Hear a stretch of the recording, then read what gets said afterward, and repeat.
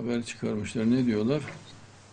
Türkiye'nin nüfusu 83 milyon. 83 milyondan 38 kişinin eksilmesi milletimiz yıldırmaz. 3 milyon kişi eksilse de bizi hiç yıldırmaz.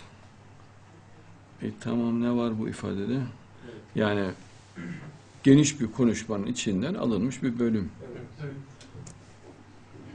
Çanakkale'de biz 250 bin şehit verdik. Bizi hiçbir şekilde bu yıldırmadı. Ve halen de yıldırmıyor da. Ama ürkekler, korkaklar, yılgınlar için 38 kişi değil 3 kişi bile olmuş olsa yılgınlık sebebi oluyor. Sesi titriyor, ağlamaklı, korkak yani yılmış, ezik, teslimiyetçi. Hemen diyor masaları kuralım. Abdullah Öcalan'a da gidip müracaat edelim. Kurtarırsa bizi o kurtarır. Aramızı bulsun, kurtarsın bu kafada. Biz de diyoruz 38 kişi değil 250 bin kişi olsa 3 milyon 5 milyon kişi olsa bir şeyi değiştirmez. Bu vatanın bir karış toprağını vermeyiz. Tamamı şehit olursa vatanın tamamı onların olsun. Her zaman söylüyoruz. Ama ürkek olanlar tabi 38 kişi yahut işte 50 kişi 500 kişi olsa ya 1000 kişi olsa mesela şehit sayısı Türkiye'yi teslim eder adam. Ufacık bir olay olsa hemen Abdullah Öcalan'a gidelim. Aramızı bulsun, masaya oturalım.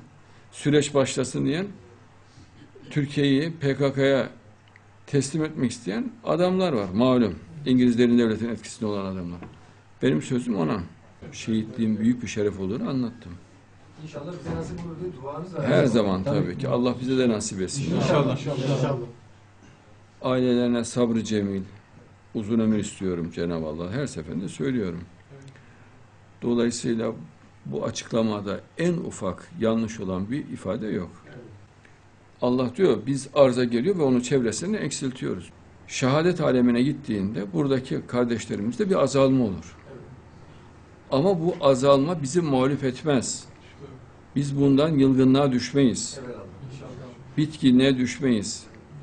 Bizim de benim de arkadaşlarımız şehit olanlar var, gazi olanlar var. Benim üç kardeşim şehit oldu. Hiçbir şekilde yılmayız. Bunu bilecek. 38 kişi değil, 38 bin şehit vermiş olsak yine yılmayız.